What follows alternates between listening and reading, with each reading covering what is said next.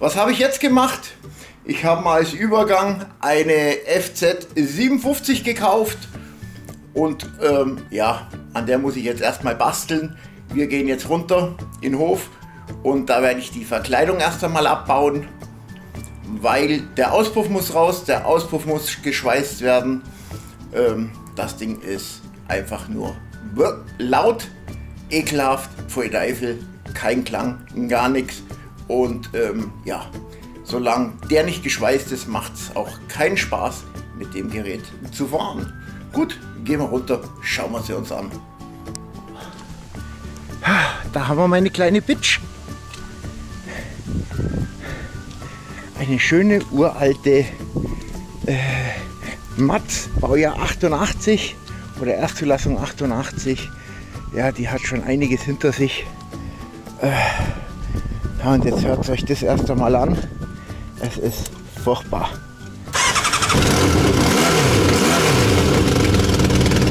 Ja. Hier jetzt erstmal schön in Schatten. Ähm, ja, in der Sonne, da verreckst, ja.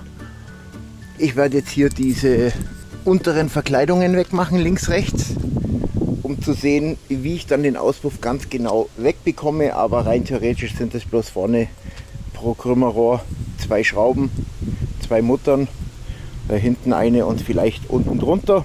Das muss ich nachher gucken. Ja,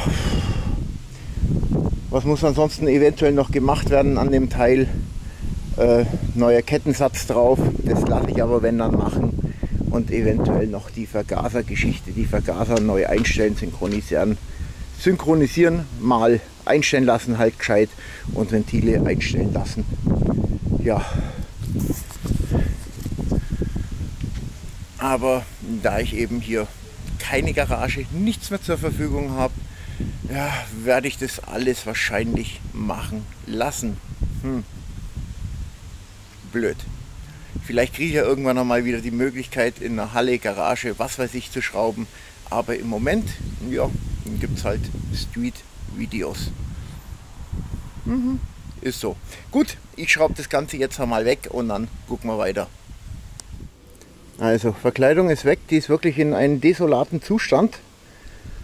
Muss ich echt überlegen, ob ich mir nicht Verkleidungsteile suche und mir dann noch was zulege, weil hier das Ding ist auch komplett zerbröselt. Alles irgendwie zusammengespackt gewesen. Tja, jetzt schmeiße ich sie nochmal an und dann gucke ich mal, ob ich hier irgendwas erfühlen kann.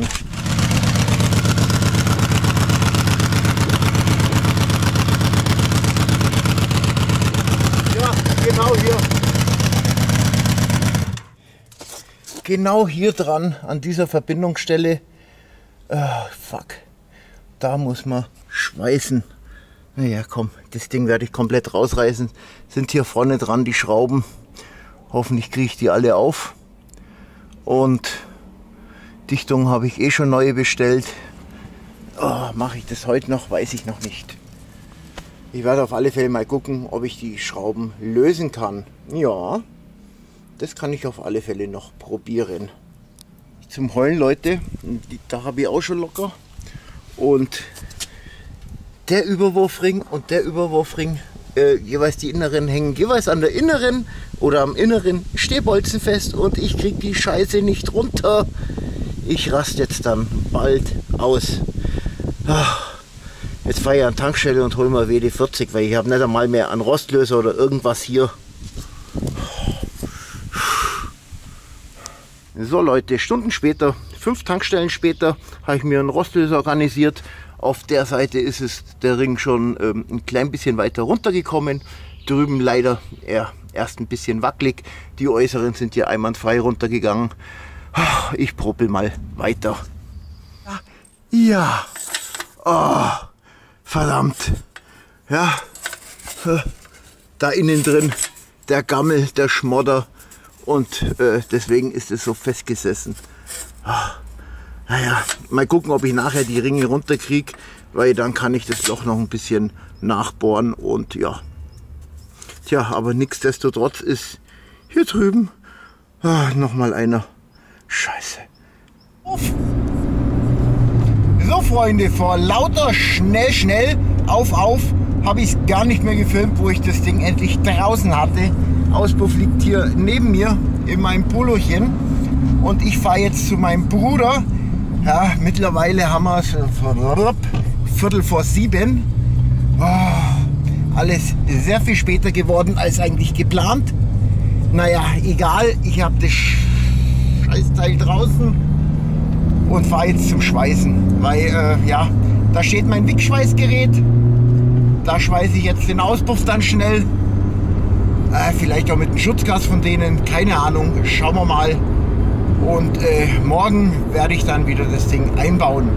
Ja gut, äh, von der Schweißerei werde ich auf alle Fälle so ganz kurz einmal mitfilmen. Bis nachher.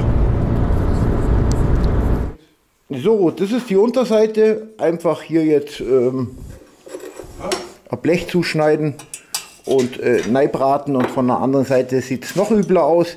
Da machen wir genau dasselbe und ja, fertig. Denkt, tja, da denkt man so für sich, geiler Brenndurchlauf, richtig gut geworden und dann habe ich hier noch ein riesen fettes Loch gebrannt, aber ich denke, das sollte jetzt soweit gut sein, sollte dicht sein, doppelt und dreifach gebraten. Gut, da kann ich jetzt noch ein klein bisschen drauf brutzeln und die andere Seite schauen wir uns dann auch noch gleich an. Tja, die Unterseite, alles fertig verbraten, seitlich nochmal gut nachgeschweißt. Wenn das nicht hält, dann hält gar nichts. Und ja, jetzt muss ich noch mein Schweißerle wieder aufräumen. Ja, hoffentlich wird es, wenn ich es nächste Mal brauche, nicht wieder so verschissen von den Schwalben. Naja, passiert. Gut, ich packe zusammen und fahre nach Hause. Also Leute, ich schraube jetzt den Auspuff ohne Verkleidung einmal bloß schnell rein. Ähm, hier sind noch so Dichtringe drin, da habe ich neue bestellt, die sollten morgen kommen. Die Löcher habe ich alle aufgefräst. Äh, ja, hier sieht man noch die Späne, beziehungsweise einmal mit dem Bohrer durchgefahren. Fertig. Und ja, wenn dann die Dichtungen kommen und, die, und der, die Auspuffanlage da blasen sollte, kann ich die dann auch noch austauschen. Dann brauche ich nicht extra die Verkleidung wieder wegmachen. Genau. So mache ich das jetzt. Leute, ich sag's euch, ein Gefummel, die vier Rohre da reinzubringen. Ich hoffe, die passen jetzt soweit. Ja, vom Schweißen eventuell hat es ja ein klein bisschen auch noch verzogen, aber ja, jetzt sind sie drin, jetzt muss ich noch festziehen und dann lassen wir sie mal laufen. Wie vorher gesagt, ist sie oben noch undicht, da kommen dann noch neue Dichtungen rein. Aber Hört sich auf alle Fälle schon besser an. Also, das heißt, das Video geht noch weiter. Voller Euphorie mache ich mir jetzt erstmal ein Döschen Red Bull auf. Ja, und dann erzähle ich erstmal. Gestern ja den Auspuff wieder neigezimmert, Probefahrt und heute früh auch in die Arbeit gefahren. Und ja, gut, vorne an der Krümmer selber hat er noch ein bisschen geblasen. Neue Dichtungen habe ich da. Hier vier Stück an der Zahl. A 3 Euro, 4 Euro Stück. Und ja, Zulassungsstelle war ich vorher auch. Und siehe da, ich darf mein Kennzeichen behalten. Tja, oh, soll ich es jetzt zeigen oder nicht? Oh.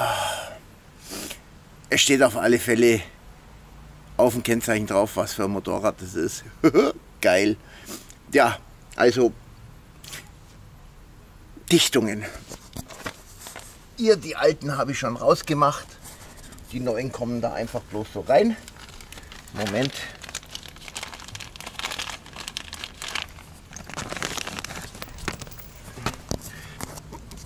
Die kommen hier einfach bloß so rein.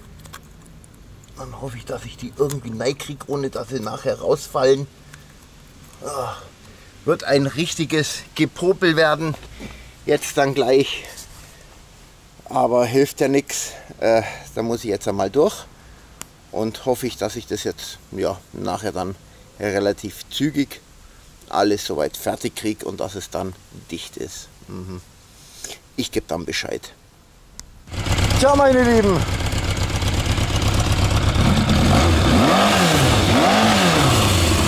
Ein ganz klein bisschen bläst er noch, aber naja, das kann man jetzt erst einmal vernachlässigen. Erst einmal ordentlich gescheit heiß laufen lassen. Ich drehe jetzt eine Runde und hinterher ziehe ich die Schrauben, äh, die Muttern nochmal nach.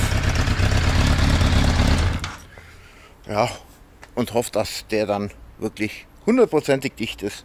Auf alle Fälle, so ist es angenehmer zu fahren, so kann ich fahren. Und ja, als nächstes werde ich dann die Verkleidung wieder hinbauen. Aber heute nicht mehr. Jetzt will ich erst noch eine ganz schnelle Runde drehen. Ja. Hey ho, weiter geht's mit der FZ57. Ja, ein paar Kleinigkeiten oder eine Kleinigkeit muss ich noch machen.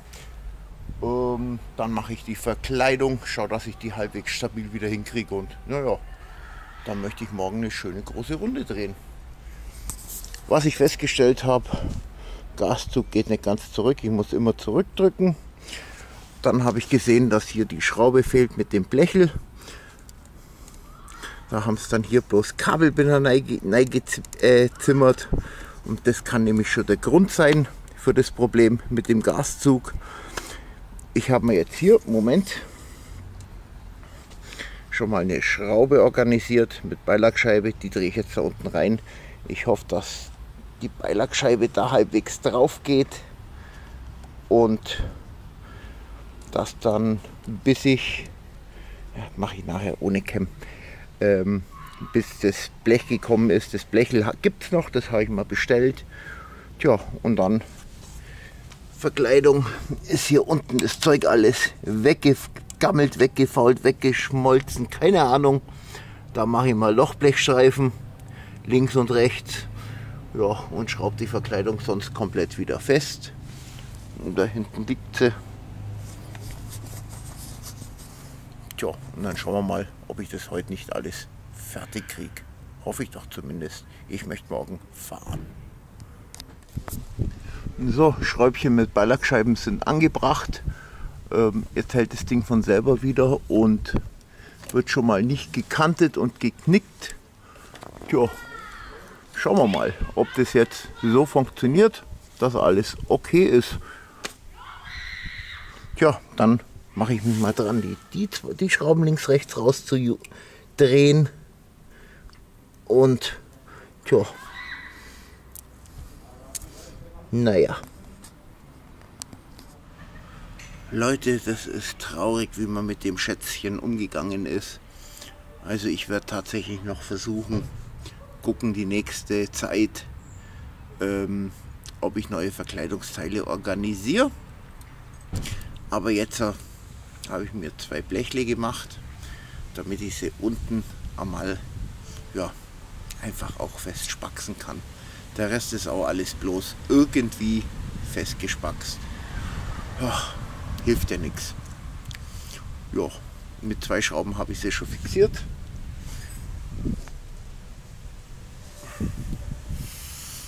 Und so werde ich halt die anderen Schrauben auch wieder alle irgendwie jagen, die drin waren.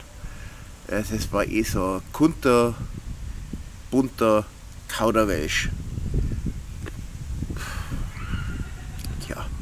was will man erwarten als elfter Besitzer und für ganz wenig Geld. Aber nichtsdestotrotz bin ich trotzdem soweit zufrieden. Mhm. Also dann spax ich mal schnell weiter. Hm. Verkleidung dran, alles gut, wunderbar. Unten, ja, mit so einem Lochblechstreifen jetzt alles festgemacht. So, und jetzt fahre ich eine Runde. dann war es das jetzt mit diesem Video und schauen wir mal, was es nächstes Mal gibt. Tschaikowski.